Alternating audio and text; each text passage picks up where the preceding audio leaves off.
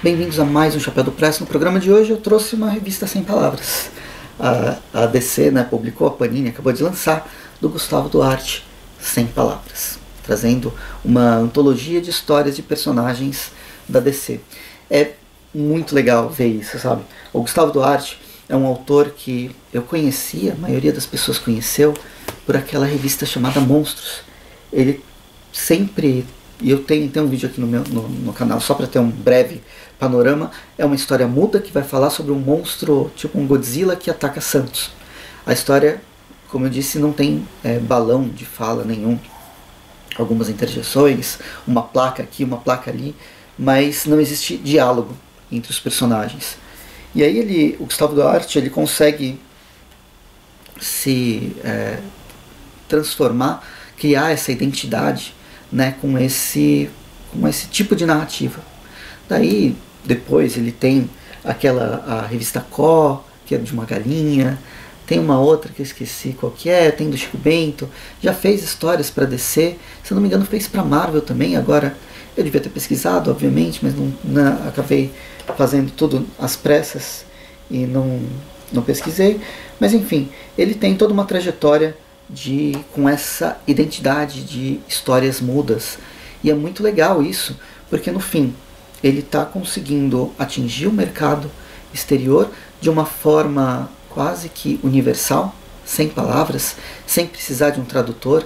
Na verdade, a tradução está simplesmente na dentro do nosso do, do nosso uh, é, código cultural, onde pequenos elementos são mais universais, pelo menos dentro dessa cultura ocidental, dentro das referências que a gente tem nos quadrinhos de super-heróis, por exemplo. Ele vai trabalhar com personagens com características que a gente já está acostumado e que elas se despontam nas formas mais simples possíveis. Aqui a gente não tem desenvolvimento de personagens necessariamente, a gente tem acontecimentos que a gente já esperam através de arquétipos, através de personagens já consagrados. Claro que quando ele fazia, é, ele fez monstros, por exemplo, isso acontece na forma mais, é, mais simples, do sentido que a gente já sabe o que esperar de um monstro do tamanho de um Godzilla e conhecendo algum personagem que vai se colocar com confronto, a gente já tem um outro arquétipo cons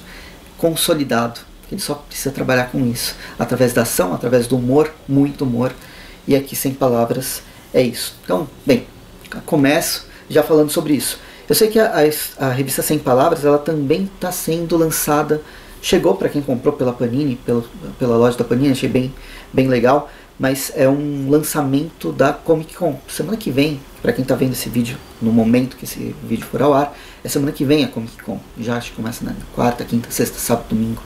E que vocês precisam ir.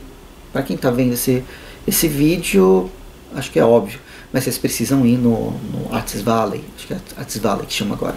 Mais de 500 artistas e tal, toda essa propaganda, mas é uma propaganda que vale, porque são artistas independentes que trabalham, artistas nacionais, artistas internacionais, são é o quadrinho, o coração do quadrinho ainda existe, pelo menos nesse, nesse setor. E outras editoras menores ou maiores espalhadas ao longo do, do evento. Não vou estar no evento, mas é, existem elementos bem interessantes bem legais nessa lá. E uma das coisas, lançamentos.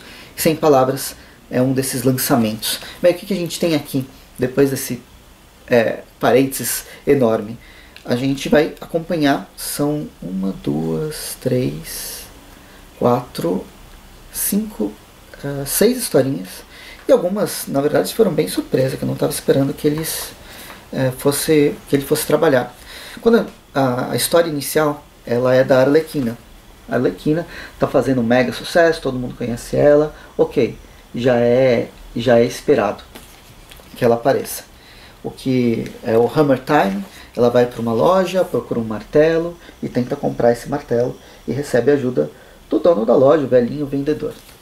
E com é, toques de humor, obviamente não vou mostrar as partes finais. Na segunda história, ela estrela, é estrelada pelo Cyborg. O Cyborg ele está escondido porque ele vai para uma loja de discos comprar uma um, algum, ele faz coleção de discos, de LPs e vai tentar comprar alguma coisa legal. sem que as pessoas descubram. Só que no meio disso ele é, é confrontado com um certo antagonista. E aqui a gente vai ver como vai ser o confronto, como vai ser a resolução da, desse vilão. Terceira história é uma história do Superman.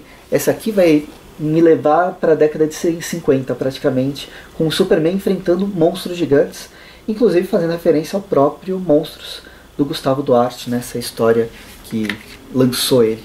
O Superman enfrenta essa formigão, ou barata, tá mais para uma barata, né? essa baratona, mata ela, ou pelo menos ela é presa de alguma forma, quem cria é o Lex Luthor, e aí ele vai para casa, coloca a roupa para lavar, só que a roupa tá toda suja de meleca de monstro, e aí ele, ele cria um novo monstro. Em seguida a gente vai para uma revista da Zatanna, com o seu coelhinho Crawler, e uma viagem por inferno para enfrentar demônios. E a última, a última é, não, tem ainda mais uma, já também esperada. O Coringa, ele vai para um vernissage, vai para uma vai para uma festa, né, de, de uma coisa de, de, um, de uma galeria de quadros. O comissário Gordon percebe, chama o Batman e os dois ficam esperando ver o que, que o Coringa vai fazer nessa, nessa galeria. Até que não faz nada demais, ou eles não percebem alguma coisa, né, não roubou nada. E a gente descobre o que, que ele foi fazer na galeria. E para terminar, que eu achei inusitado, porque o personagem, eu gosto dele, mas não acho que eu seja um personagem muito. É, que seja conhecido amplamente. Estou falando do lobo. A gente tem uma história do lobo enfrentando vampiros. Vampiros nazistas. Coisa mais aleatória possível. É, é esse confronto do essa última história muda do Gustavo Duarte. Enfim, esse é o volume, é bem legal, acho que vale a pena é, ter o preço foi R$29,90 nesses preços super salgados que estão atualmente. Mas talvez a, na, na Comic Con provavelmente vai ter promoção, espero que tenha. A última vez que eu fui estava bem zoado né, a Panini.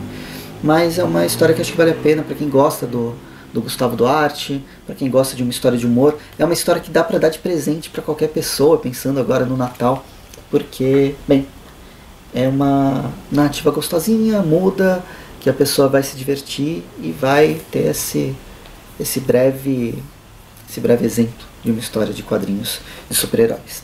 É isso. Vou ficando por aqui. Espero que tenham gostado do vídeo. Curta o vídeo, assine o canal, assine o Chapéu Press Facebook. Me siga no Instagram, arroba Press sobre filmes e séries. Tem o link da Amazon, onde bem, qualquer compra pelo link da Amazon me ajuda bastante a trazer coisas novas, trazer coisas diferentes. A gente se vê então no próximo episódio. Até mais. Um bons quadrinhos.